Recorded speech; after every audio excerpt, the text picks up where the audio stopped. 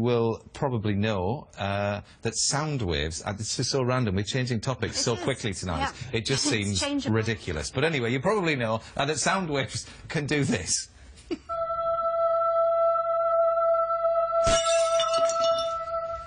But you probably didn't know that they're capable of doing this. These are ordinary polystyrene beads.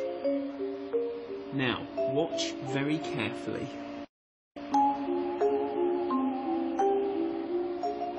Abracadabra. Levitation. This isn't some sort of optical illusion. This bead really is suspended in midair. It's not just a single bead. I can position other beads around it, and they all stay in place. They're not held there by magic, but by the power of sound. Turn off the source of the sound, and all the beads fall. Phil Bassingdale is an engineer from the University of Bristol. We have a speaker at the top, and that's playing ultrasound. So this is sound that's too high a frequency for us to hear.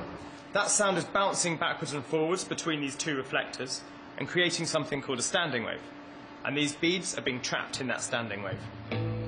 It's odd to think sound alone can have such a physical effect, but it's something many of us have experienced. If you've ever stood close to the speakers at a music concert, you'll have felt the power of sound as it rumbles your insides. And that's because sound can physically affect the objects around it because of the way that it moves. Sound moves through the air as a wave, and this spring can show how it travels. If I use this box here, I can tune the frequency of the wave going up the spring so it's exactly in time with the wave that's coming back down. When I flick the spring, a wave travels up, hits the ceiling, and travels back down. If I use a machine to get the timing of waves just right, parts of the spring vibrate madly, while other parts remain motionless.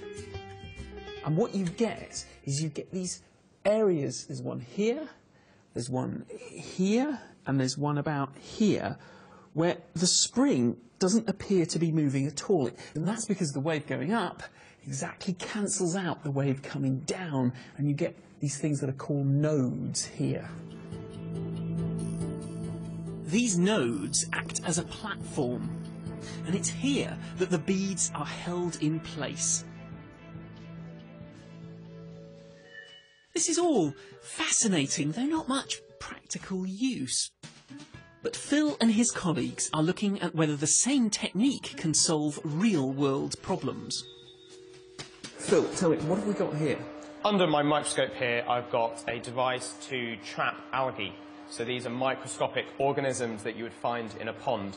And we can see those algae on the screen. So this image on the screen is from the camera. We can see our algae floating around. When I turn this device on, we're going to create that standing wave. And as you can see on the screen, the algae are immediately lined up into these clearly defined lines, in exactly the same way as the polystyrene beads were levitated. Using this technology, Phil hopes that sound can be used to help purify water. It would allow scientists to separate algae, dirt, or bacteria into specific areas and filter them off, leaving clean water behind. So far, this technology is limited to the lab, but scientists and engineers are looking at ways to bring it out into the real world. And while it's early days yet, we're only just beginning to appreciate the power of sound. Well, Phil, from that film, uh, joins us now from Bristol University uh, with news of another way that sound waves can be used. And we're going to start uh, with, with temperature. Now, how can sound measure heat? Well, quite simply, we've got a speaker on one side of this box and a Yeah. microphone on the other side. So we're playing a sound and we're listening to it. And we know the distance between those two, so we can calculate the speed. And temperature is dependent on speed. So as it gets hotter, the, tra- the sound is going to travel faster. Yeah. So then we can calculate the temperature inside that box. So you can see what temperature is it. I mean, yeah, well, it's fluctuating. It's, it's fluctuated quite a lot, hasn't it? Eddie, So since that's come out the here? exact temperature inside this box, and we don't have to have a thermometer. So, Well, so why wouldn't you use a thermometer then? Is this more accurate? so we're taking a direct measurement straight away, and if we were in a chemical reaction cell, we couldn't put a thermometer in because it was too dangerous. We could Of use course. sound Yeah. To measure the temperature. Right, Okay, Let, let, us move on now to uh, to wind measurement. Let's go to wind. Right, Yeah. so we've got our wind machine, our hairdryer here. From Yeah. the makeup room? Oh, Yeah. yes. and so we're sending sound backwards and forwards Right. between these two.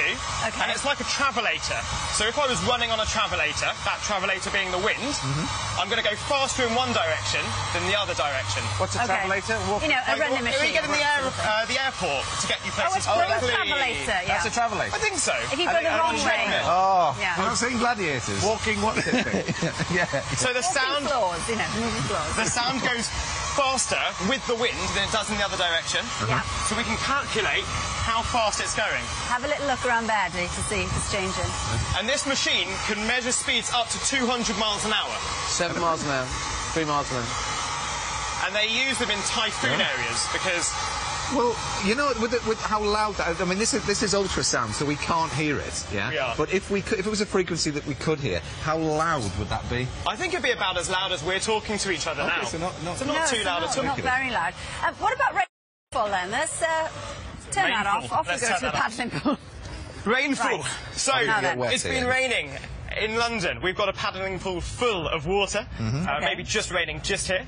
And we're using a machine here to bounce sound, ultrasound, off the surface of the water. Mm-hmm. Yeah. It comes back, and we're measuring the delay, the time that it takes for the sound to go down and come back. And from that, we can calculate the height of the water. I see. So- Oh, so this is the distance between the surface and that little Exactly. Right, okay. It's raining a lot, as you can see. And this is quite a new device you've got here, isn't it? It's It in is. the early stages. Exactly. All right. So this is a brand new one-show weather Yeah. forecast. we can see it's gone up. We've Good measured the luck, rain. Phil. That's great. Well, that's fantastic. Thank you very much. Thank you. That sounded All right. right.